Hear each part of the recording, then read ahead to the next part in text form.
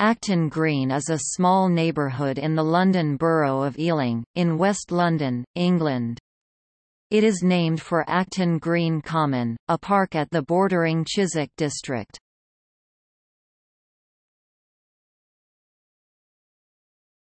Topic Transport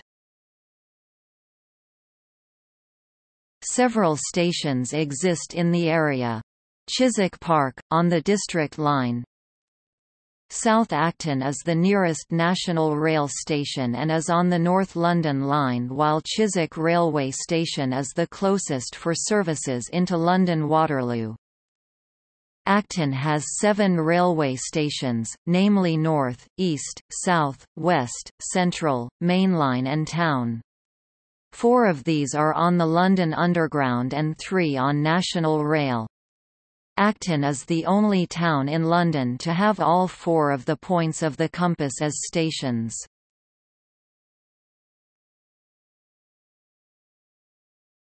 Topic: Neighbouring places.